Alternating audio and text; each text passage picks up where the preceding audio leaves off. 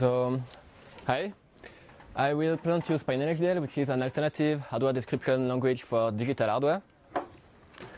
So, uh, during this presentation, I will first give you a little introduction about SpinalHDL, how it comes, how we can how we can use it, and then I will give some difference with VHDL and Verilog, and then I will give you many little examples to show you the advantage of SpinalHDL and how it is different, what it gives you by using some abstraction and by using some software engineering approach to do hardware design. So uh, this presentation will okay, this presentation will only be about synthesizable hardware. It's really not about um, a simulation thing. But you can do it, or so is Spinal uh, HDL beneficial to simulation as well? You can simulate the output netlist. So um, yeah, to simulate um, generated the, the, hardware, you can use um, regular tools because the output netlist of SpinalHDL is VHDL and Verilog, so you can do the simulation of those output netlist. So yeah, this is the context. I don't have many time to to give you my opinion on that, but uh, basically what I think is VHDL 2002 and Verilog 2005 are really bottleneck in terms of engineering by many aspects. And VHDL 2008 and SystemVerilog will not save all of us because of EDS support, because even of features that they bring that are not so good finally. So I don't really have many time to talk about that, sorry, but so SpinalHDL. Um, it is an open source project which starts um, in December 2014. It focuses exclusively on RTL description and as you can see here, there is a flow. So um, you can describe your hardware by using some Scala files. Then you ask the SpinalHDL compiler to translate it into regular VHDL and Verilog that you can uh, synthesize or uh, simulate. And so this made um, SpinalHDL directly compatible with all EDA tools because it's regular VHDL and Verilog.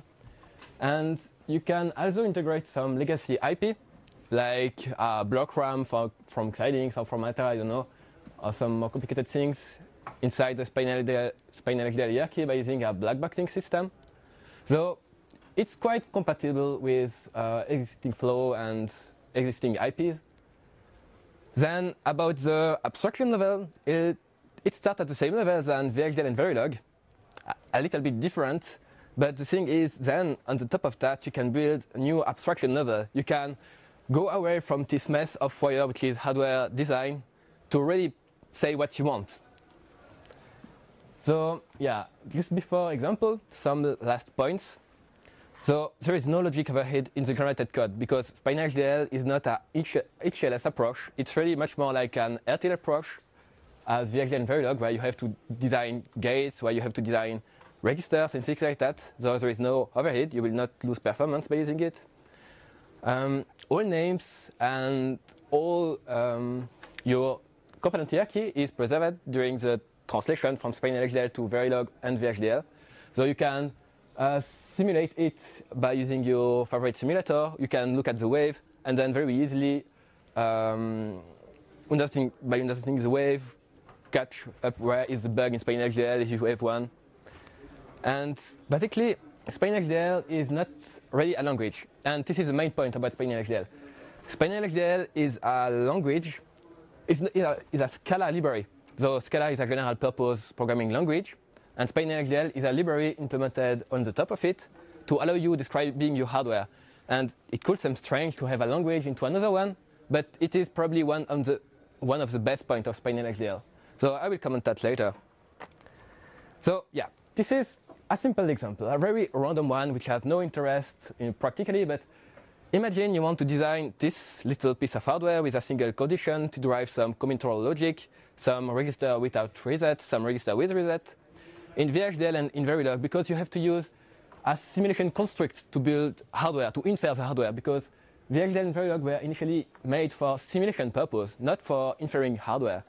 So you will have to write three different processes you have a lot of redundancies because, for example, this condition is duplicated three times, which is not very clean, which is not very uh, safe because you can create bugs by having duplications. at many places. So this is how we are used to do. And this is how you can do with an hardware dedicated syntax. And this is some SpinalHDL example. So first difference, you can define things explicitly as signals, like my register, is a register not because you are assigning it, it into a clocked process, but because you define it directly at the definition. I want a reg of this data type. Or I want a reg of this data type with a reset value to zero. So because things are explicit, now you, you don't have to write process and these kind of things. And you can write, for example, that, uh, that you want my signals to be false by default. And then when the count is true, then you can assign all of those guys in the same conditional statement. So another little example.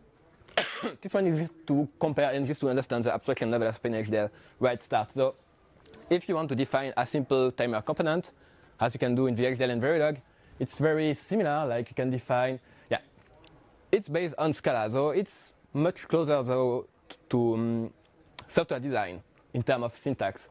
You can define a timer class with some construction parameters. This is like a generic or a parameter in Verilog. Then uh, this class with will extend component to say this class is a component, so it's a hierarchical element of my design. Then you can define IO into uh, input outputs into a bundle. Bundle is the concept of hardware data structure in SpinalHDL. Then can define inputs and outputs of your components. It's very easy. Then can define a counter into inside your timer, which is a register of this data type. Then you can write conditions, assign it, other conditions, reassign it. So last assignment win, uh, last assignment win, like in VHDL and Verilog.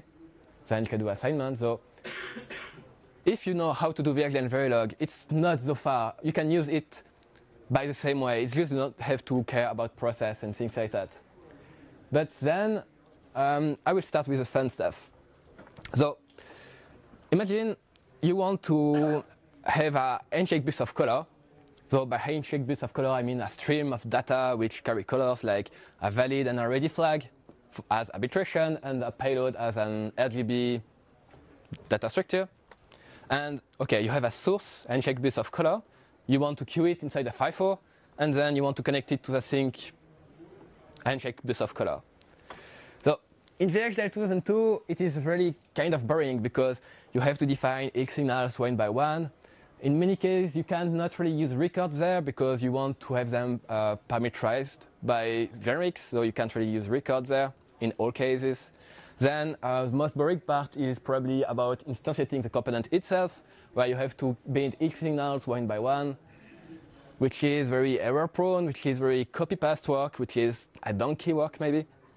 So in SpinalHDL, things are much more object oriented, which means so yeah, for example, if you want in SpinalHDL, the concept of handshake uh, bus is named stream.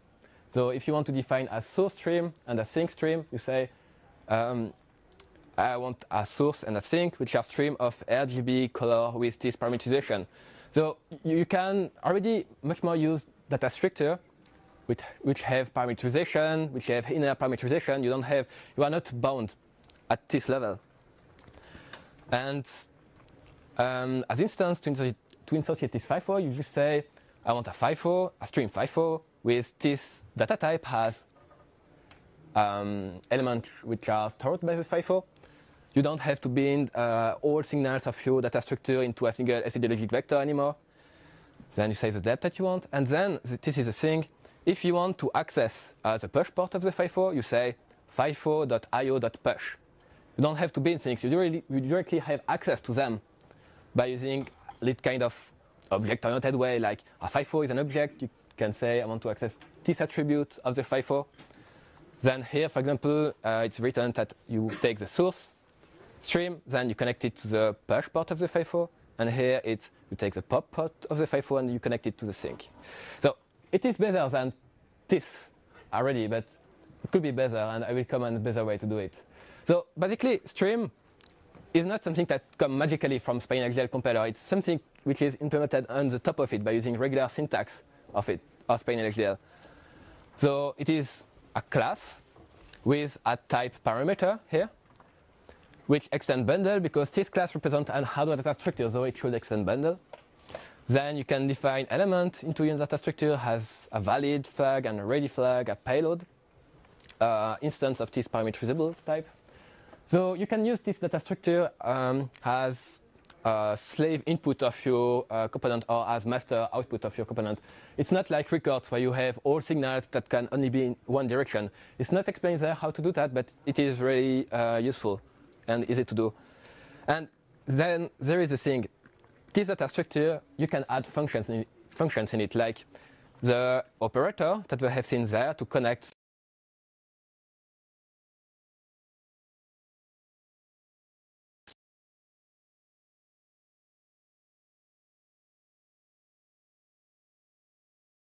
stream.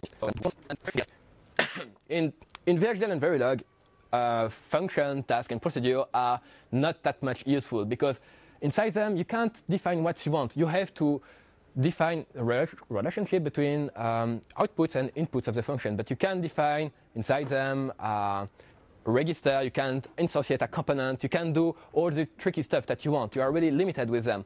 But here you can really do what you want, like can define a queue function, which take as parameter how many big you want the queue to be. And then this function will create, for example, a new FIFO internally, a new component, so, and then it will connect uh, the stream on the one you are coding it to the push port of this FIFO, and this function will return the output port of this FIFO. So it is, it is really simple, but in fact, there you go. In place of writing all this stuff, which is already better than regular VHDL, you are just writing this, like you want a source and a sink stream of RGB colors, and then you say, you take your source, you want to queue it, we have FIFO of 16 elements, and then you connect it to the sink. And there you are starting to going away of the mess of wire of hardware design. You are just saying what you want, and this is working. You can you can write a bug like in that. You can do mistake in wiring. You can do these kind of things. So it's it's not only you you can go further than like imagine you want to do this hardware. Like you have um, source stream of color. This is a random example, but uh, it's just an example. Imagine you have um, source um, handshake, a source stream of color. You want to throw transaction of this stream when they are black. So you need to add this arbitration gates and this check. Then from this point, you want to add a pipelining stage to have a better maximal frequency or to have a one depth FIFO storage, I don't know. So you need to add that. So in VHDL, probably if you have to do that, you will do it by hand, and it's really error prone. It's if you do error in the arbitration, it's always a lot of time to find out where is the bug in your arbitration. But here, um, there is how you can do it in SpinalHDL. I mean, how you can do it by using the library which is implemented on the top of SpinalHDL. Like you can define a source stream of RGB color, then you can say, I take my source stream, I want to throw a transaction when the source payload is black, and then which this function throw and will return this stage, this, this point, and then you say, I want to stage it. And this stage function will create this hardware for you. And then it returns this, this node, and then you name it sync. Really, you are, you are, you are saying what you want, and not how really it works signals by signals. And this is not magic here. You can do, um, you can navigate to, this, to the implementation of this function, and this is pure RTL implementation. It's not from the SpinalHDL compiler. So another example, um, state machine. So you can design state machine as you do in VHDL and Verilog by using switch statements and things like that. But you can also use the state machine tool. So state machine tool is one time again implemented on the top of SpinalHDL. It's not something integrated in it. And if you want to do this state machine, so you can say, I want a new state machine. I want state A, B, C, which are states. State A is my entry point. Then you can define some signals inside it. And then you can say state B on entry, I want to set my counter to zero. State B, when it is active, I want to count up. When my counter is four, I want to go to state C. And then on state B, when it exits, I want to put my IO result to true. So it's just an example that SpinalHDL allow you to rise your level abstraction. But it, it's not because it's implemented in it, it's because its syntax is flexible enough to allowing you to build this abstraction. State machine is not magic. Really, it's just software engineering with hardware design combined together. So another example, uh, imagine you want to do that. You have a bus like an Axi or an APB one, I don't know. Then you want from this bus be able to drive a signal A and B, which are inside of 32 bits. So you want to have some register here which are write only from this bus. Then you do some calculation like multiplication between both, and then you want to be able to read the result from this bus. So if you want to do that in and Verilog, you will have to, yeah, to, to manage the bus timings by hand, to do some switch cases. So it could be alright, but it's not the only solutions. So here there is an example. For example, if you want to create an AXI for a bus, you can write it like that. And then you can use an AXI slave factory tool. So this tool is time again implemented on the top of SpinalHDL. It's not integrated inside it. And this tool will allow you to specify your register mapping by an, by an abstract way without having any, any knowledge of uh, the bus timing. Then, like you can say A is um, something created from the factory has a write-only register of this data type mapped at this address. And the same for B. And then you can do some calculation here with result. And then you can say, I want my factory to make uh, the result readable at the address 8. And so this specification here is completely abstract from the fact that it is an Axi one. You can replace it here by an uh, APB one, and it will work directly. So, and behind that there is a lot of software engineering, like there is HashMap that you can use to elaborate your design, and this is, this is used behind the sensor. There is um, abstract classes, there is abstract functions, there is uh, inheritancy, inheritancy, yeah? Inheritance. uh, yeah, inheritance, exactly. and yes, there is many things that you can do. So, uh, last example, this is just a demonstration project that I have made uh, fully in SpinalHDL just to, to check that it works correctly and it's not too much buggy. And so this is a kind of little SoC which works on FPGA with an RISC-V CPU, with instruction cache, a JTAG chain to debug it, some uh, SDRAM controller, one chip RAM, APB bridge for low performance uh, peripherals, GPIO, timer, UART, and VGA. Um, this is an Axi uh, for interconnect. This is an APB interconnect. And there is some sample of code which are interesting inside it. Like, for example, to implement, to, for example, to instantiate this APB bridge from Axi, like from Axi4, it's just writing that. You say, I want my bridge with this parameterization, and this is done. And to instantiate all this um, decoding stuff for the APB with all those connections between components, it's just saying, I want an APB3 decoder. My master is the APB bridge IO APB, and there you can give a list of slaves, like timer controller IO APB is mapped at this address with this address range. And you know, it's in VHDL, it's and in Verilog, it's so boring to do that. So here it's just saying what you want and you get it. Then there is another pattern, though it is for the Axi4 side. And this one uses a data model uh, pattern. Like you can create an axis for crossbar factory. Then you can feed it with some data model by saying, I have this list of slaves, they are mapped there. You have this list, this list of master, and they can access those slaves. And then you say, I tell you everything, please build yourself. So you can really do software engineering to design new hardware with this approach. And yeah, this is, this is all for this presentation about SpinalHDL. Um, you can find uh, everything open source uh, in this repository. There is online documentation which starts to be uh, good, I think. There is some ready-to-use project to help you if you want to try it, and some communication channels. So do not hesitate to to comment them if you have some issue to start up with tools or anything. So this is all. Thank you.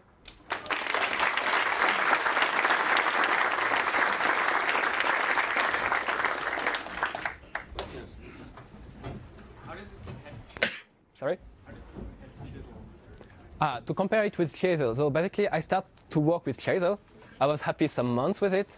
That was two years ago and or three years ago. But basically, uh, it appeared that there was a lot of issue with it. and like for example, clock domain support, which was very um, badly done, and there was regularly some issue about it, but no, no, but the, um, there was no move on the Chisel stuff. So you can also find a list of things that I don't agree with Chisel in the design on the fact section of the online documentation. And yeah, maybe Chisel is much more about a very Verilog implementation of the idea. Uh, SpinalHDL is much more about a VHDL implementation of the idea, which is with check more things and more stuff. But really, it looks like interface is the same, but really there is many difference behind the same. Like, yeah, you have to, to check the fact. Okay. Yeah, uh, we have a lot of questions. Okay, so this way, let's move that way. Uh, so how hard would it be to make software in Scala that would run on a general purpose CPU and on some part of VHDL code? Have you ever tried such a thing, like making, I don't know, a hash map, for example, that could compile to something that runs on So, and VHDL?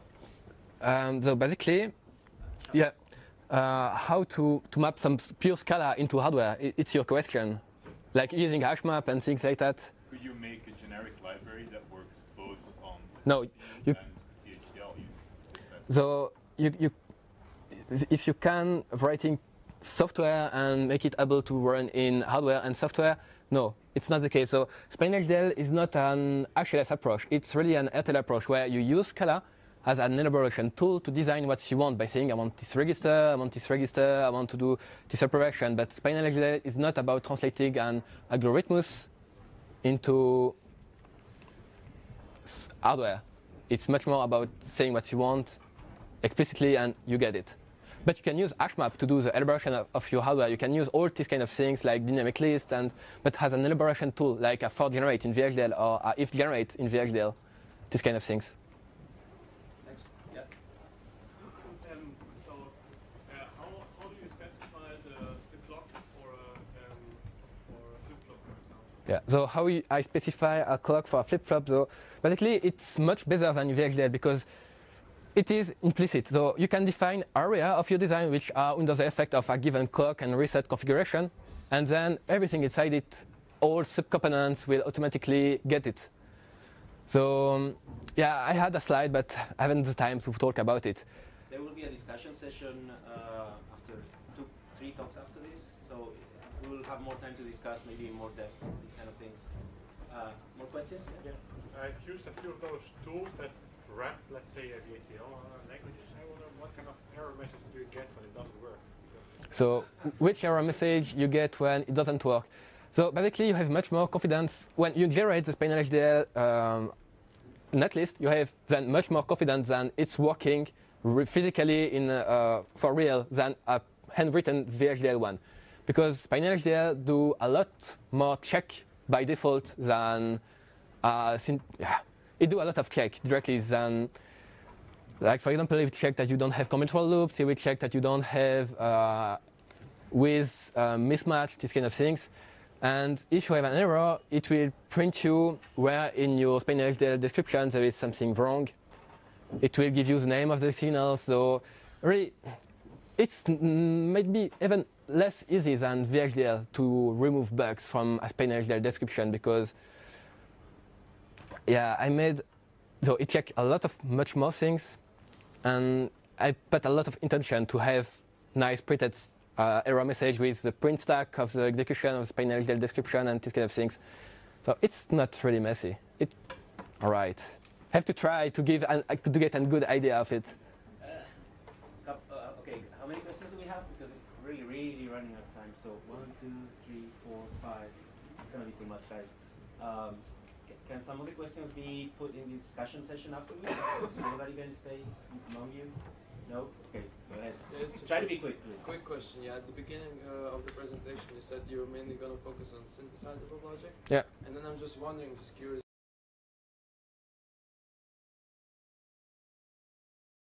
Uh, slide 7, if you can go real quick.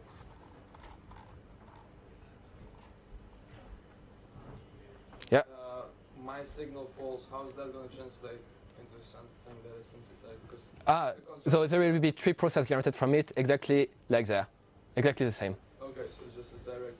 Yeah. Okay. But how do you distinguish between blocking and not blocking? Sorry. How do you distinguish between blocking and not blocking? Oh, um, SpinalHDL all is uh, how to distinguish in between blocking and not blocking. So in SpinalHDL by default it is uh, I don't know which is one, but it is like the default, well like this one here. Yeah, you can do the, the other one by using another syntax too. And just also translation question, a similar thing. You had a multiplication somewhere, right? How is that translated? How much control do I have over that? Um, so how the multiplication is translated into VHDL exactly the same than in VHDL. Okay. So then if you want to use uh, FPGA dedicated blocks and things like that, Uh, okay. you can instantiate a black box or you can try to write it by the way that the synthesis tool will understand it. But, but the, there is no magic between in the translation, so it's one to one. Uh, yeah, so if I don't trust SpinalHDL, is there any way to make formal verification against what I have as SpinalHDL and what I have So uh, if you to, to about uh, formal verification between the input spinal HDL and the output, there is no formal verification about it because basically it's not required because you are verifying the output netlist. You are not doing your verification stuff on the spinal description. You are verifying the VHDL generated files. So it's why I don't really care about it being formal. But I have a good confidence in the translation process.